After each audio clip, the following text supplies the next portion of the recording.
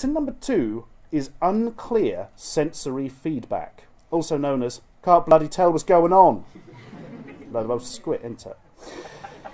I'm going to be demonstrating this with Graffiti Man on the Atari ST, which is a bit of a cheat because uh, there are better games on the. So I've got a really good example on the Amiga, but you try emulating an Amiga on a laptop with HDMI out, it's not going to happen.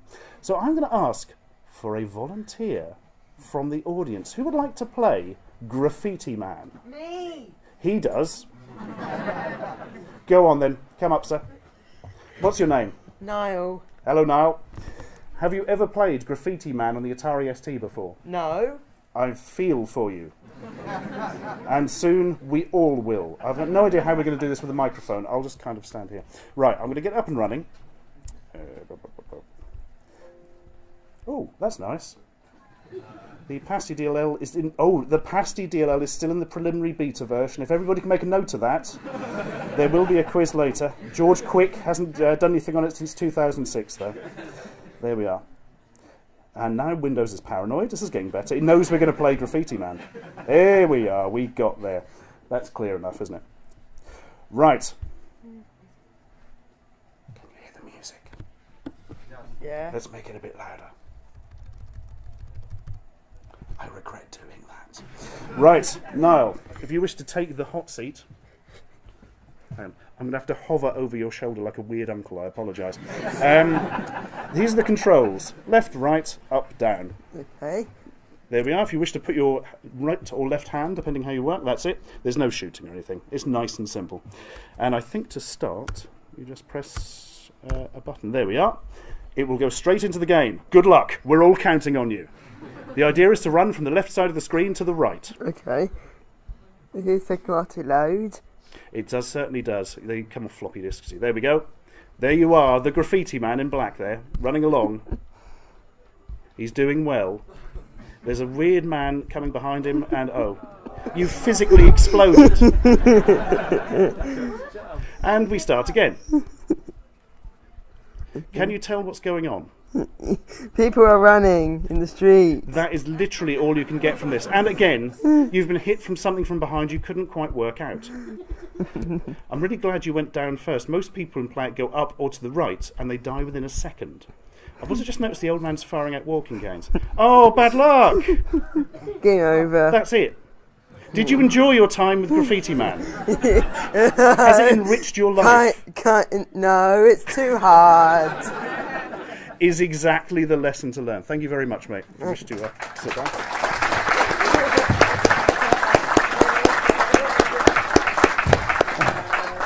Good work. So, as you can tell, you can't tell what's going on. You just start off, it's a mass of the most ugly cartoon characters this side of a French novel.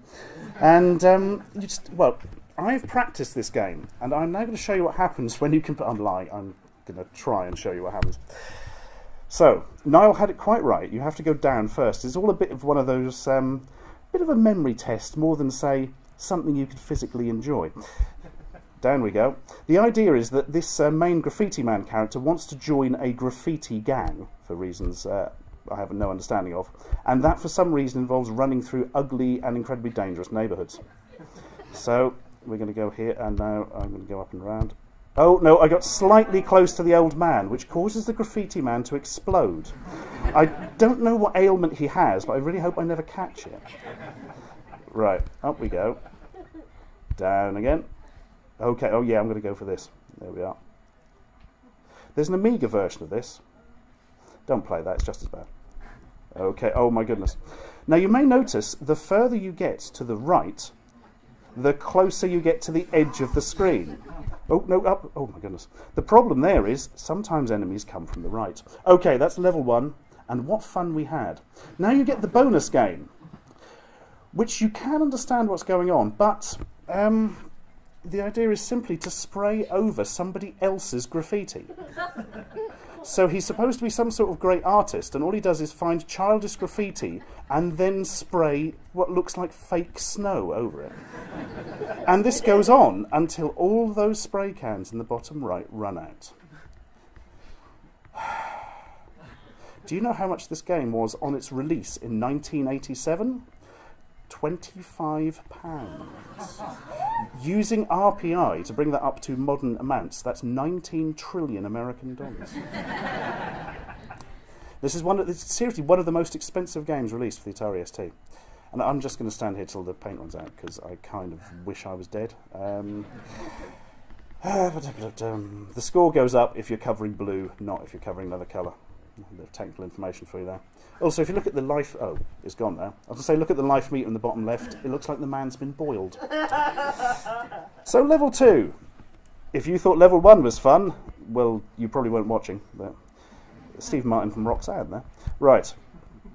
So we're going to go along and run along the bottom as before.